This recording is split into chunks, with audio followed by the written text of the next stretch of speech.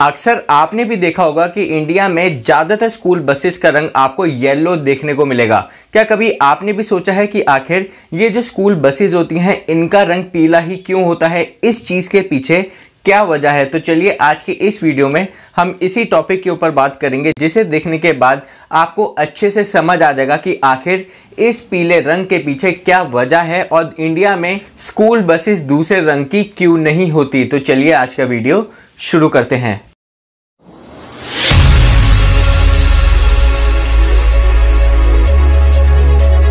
India ही नहीं, बल्कि अगर आप दूसरे देशों में जाएँगे तो वहाँ भी आपको स्कूल बस का रंग पीला ही दिखेगा।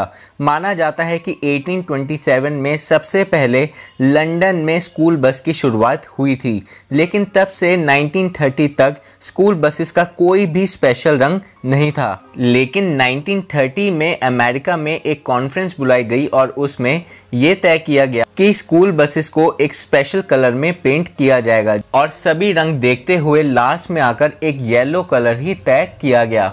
तो चलिए अब जानते हैं कि ये जो पीला रंग है, ये किस वजह से वैज्ञानिकों द्वारा तय किया गया था।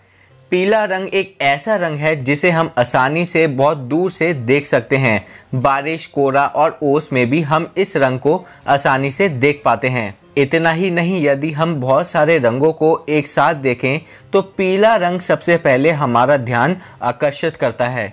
वैज्ञानिकों के अनुसार पीले रंग का लेटल पेरिफेरल विजन लाल रंग की तुलना में 1.24 गुना अधिक होता है। इसका मतलब है कि बाकी रंगों की तुलना में पीले रंग में 1.24 गुना ज़्यादा आकर्षण होता है। और अन्य किसी भी रंग की तुलना में ये आँखों को हमारी जल्दी दिखाई देता है। भले ही आप सीधा ना देख रहे हो, तब भी आप आसानी से पीले रंग को देख पाते हैं।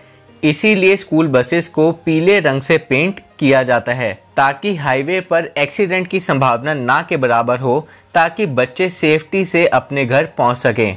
इसीलिए अमेरिका की तरह इंडिया में भी स्कूल बसेस का रंग पीला ही रखा गया। तो तभी आप ज़्यादातर स्कूल बसेस का रंग पीला ही देखते हैं।